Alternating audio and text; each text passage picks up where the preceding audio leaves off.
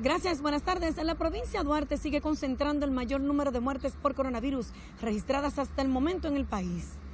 Según el ministro de Salud, son 23 las muertes por la pandemia en San Francisco de Macorís.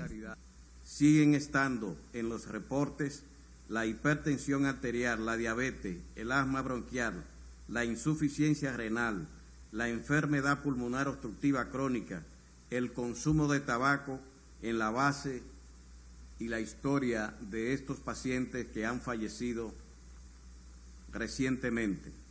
Mientras que en 24 horas se registran 175 nuevos casos positivos y otros seis fallecimientos.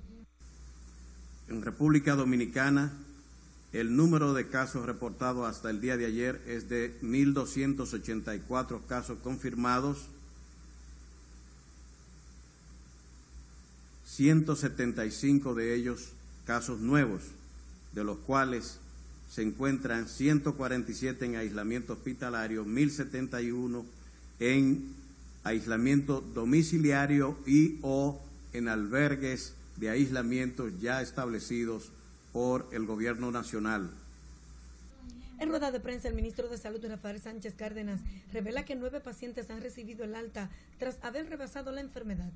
Hasta la fecha, del total de casos sospechosos reportados al SINAVE, el 65% fueron descartados por laboratorio.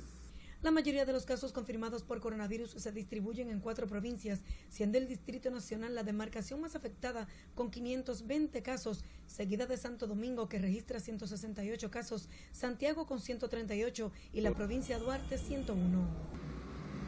Por el comportamiento que ha tenido la pandemia en el país, el ministro de Salud recomienda la continuación de la cuarentena para contener la propagación de este virus. De mi parte es todo retorno al estudio.